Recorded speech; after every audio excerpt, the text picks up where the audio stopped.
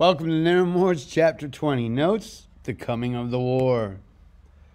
So we're going to go from Lincoln's inaugural to the preface of the beginning of the war, getting set up for four years of misery. His inaugural address, now everything's already happened under Buchanan. He's taken over already in 61. In your hands, my dissatisfied fellow countrymen, and not in mine, is a momentous issue of civil war. So he's saying, hey, don't look to me about civil war. It's going to be you who starts it. The government will not assail you. You can have no conflict without yourselves being the aggressors. You have not oath registered in heaven to destroy the government, while I have the most solemn one to preserve, protect, and defend it. And if those words sound familiar, they should. Those are the that's part of the oath that the president has to take. So preserve, protect, and defend the Constitution of the United States. Uh, so, whoops. Lincoln maintains that the Union is indivisible. Secession is not allowed. And attempts to place the burden of conflict on the South, saying, hey, it's going to be on them. I'm not going to throw the first punch. But Buchanan, what's he been doing? Nothing. The schmuck. He's let every single U.S. facility fall under Confederate hands except for Fort Pickens in Florida and Fort Sumter in South Carolina. Now, Charleston, South Carolina is the heart and soul of cotton trade across the seas to Britain, uh, getting weapons from. So, big deal here.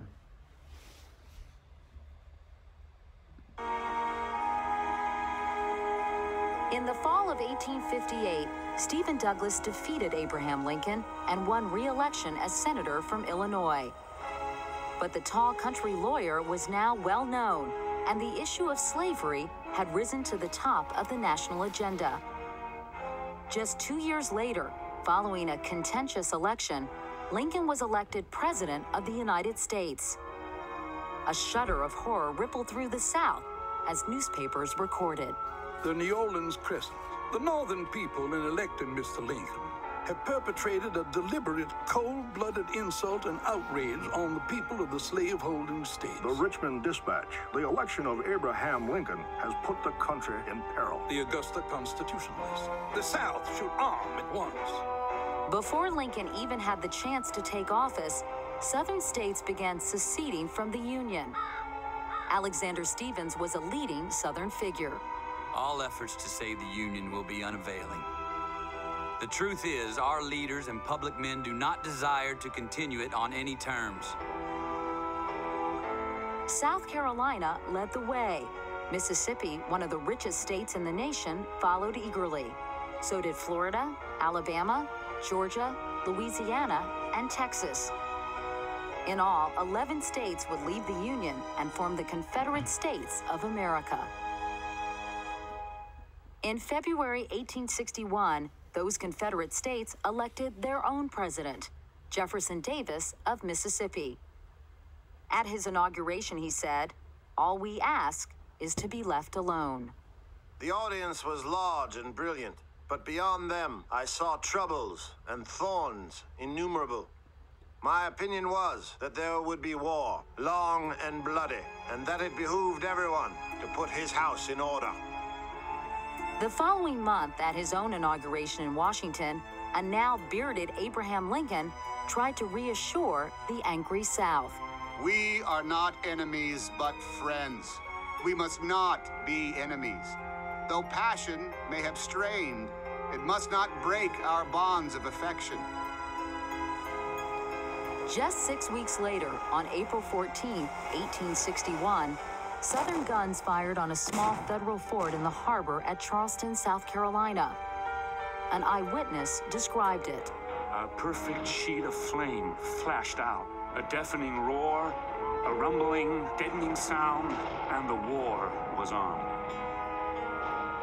For 84 years since the signing of the Declaration of Independence, the United States had stood strong as a free republic Now, the issue of slavery, the terrible contradiction at the nation center, was putting at risk the entire American experiment in freedom. The last ray of hope for preserving the Union peaceably expired at the assault upon Fort Sumter. This issue embraces more than the fate of these United States. It presents to the whole family of man the question whether a constitutional republic can or cannot maintain its integrity.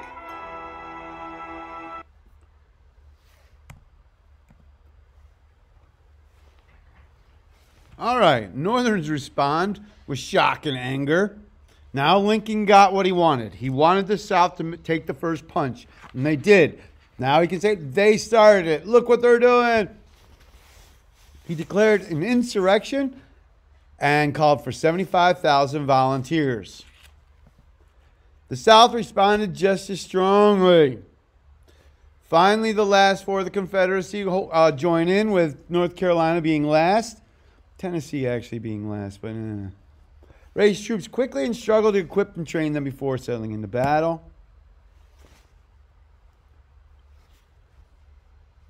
Now, communication lines are open, and the South indicates that attempts to reinforce it with troops would be a hostile act. So Lincoln says, hey, I, I'll just bring them supplies. I'm not bringing uh, reinforcements. I'm not bringing more troops.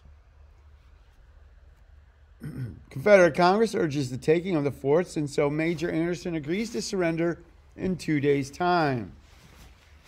Delay is refused, and Fort Sumter is fired upon April 12, 1861.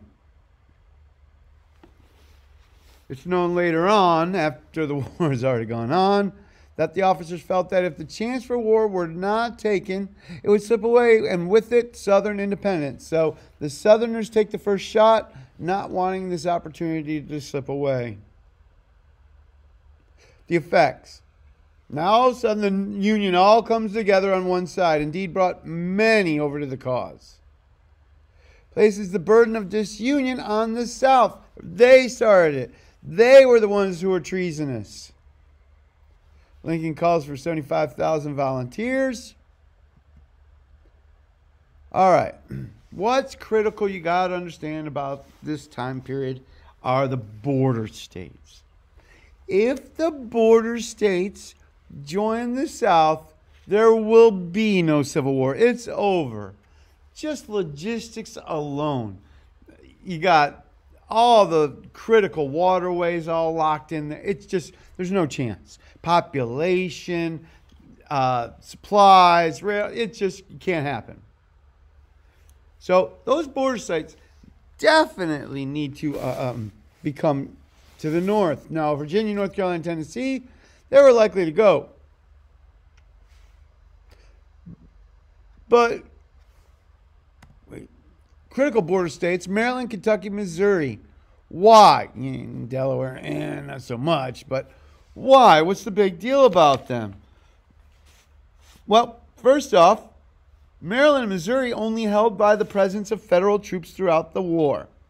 They, you know, they probably would have gone. Kentucky is allowed to basically a neutral position. So they're frankly trading with the South during the war and the Union successfully detaches West Virginia from Virginia in 1861. Now, historian Morison's contention is that it was truly a brothers' war. Uh, an example is Lee's agony. Lee was asked by Lincoln to be general of the army, and he turns it down because he sees himself as a Virginian first. He's anti slave, he's anti secession. Uh, uh brothers fought. Uh, brothers mostly fought side by side, but there are many examples of father, son, brother versus brother fighting on opposite sides of a battle. So let's look at the military advantages and disadvantages. First, the South. Wait a second. Union advantages. First off, population. They got the people. Railroads, factories, Navy. The Union's already got an existing government. And food, the bread baskets in the North. Take a look at the railroad track, wheat production. The only thing the South has is cotton production. I mean, gun factories, for God's sakes. The Confederacy does have some major advantages. One, they don't have to go and conquer the North. The North has to come to their home court and conquer them. Also, and the Northern generals suck for a while. It's the Southern generals who rock. I mean, they are awesome military men. So the major disadvantage to the North in that that you got Lee, Jackson, Longstreet, just the who's who of American greats. And it won't be till the middle of the war that you get Grant and Sherman and such really poking their heads out and taking a lead in the North. and morale. Most white Southerners were willing to fight to protect their way of life. The North, eh, would you want to die to save the Union? Is that worth dying for? Now, when the issue becomes slavery, now we're going to have something different with the Emancipation Proclamation. Also, you know if you play sports, home turf is everything. Their supplies are right there. Their neighbors are right there. Hey, we need food. The North has to constantly ship stuff in. And the South has a strong military tradition. Their boys know how to shoot. Their boys know how to ride. They know how to take orders. They know military tactics. The North, not so much. Okay, South fighting a defensive war, similar to the colonists during the American Revolution, don't have to attack the North. The South also was an immense area without any capitals, any major cities. Yeah, they had some major cities, but not really. Not like the North. Also, superior moral cause for the uh, North. Come on, let's face it. They're fighting for self determination, fighting to defend their homeland. Now, all bets are off with the Emancipation Proclamation. Then, superior moral uh, cause flips over to the North side. Definitely more talented officers on the South. Frontier background, they know how to shoot, they know the terrain, they know the climate. and last but not least, another advantage help from the British or the French, militarily, supply wise.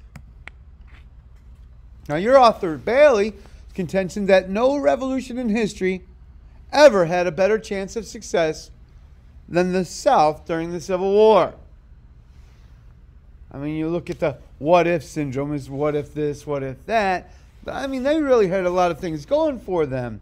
Uh, if Gettysburg had just gone on one different way, whole different ball game. Now, advantages and disadvantages for the North. We've already seen the graphs.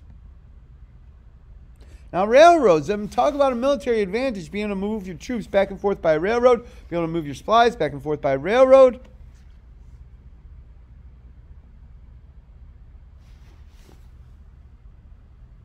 Of course, the banks, the structure for the banking's all up north. And come on, do not underestimate the fact that they had Lincoln. Lincoln was the man. Uh, finally, he would have to interfere in military strategy himself. He didn't care what the generals called him. He didn't care what, just as long as they won. You have Jefferson Davis lost in the details, while Lincoln sees the big picture, the ultimate cause. Also, North had superior government structure. They already had a capital. They already had their tested constitution. South had to hold its union together without the philosophical ability to deny dissatisfied the right of secession. So now the South with the government, hey, if uh, Mississippi wants to secede, they can. If South Carolina wants to secede, they can. Hey, isn't that the premise for what they left the Union with? So the stronger states makes them weaker in the fight against the North. And of course, the Navy's in the Union hands. Population's a blowout, and it gets worse over the, the war for the South. Since the South, immigrants don't go south, they're going to the cities in the North to find jobs. they become draftees. So, natural population increase and also immigration. That's the end of chapter 20 notes.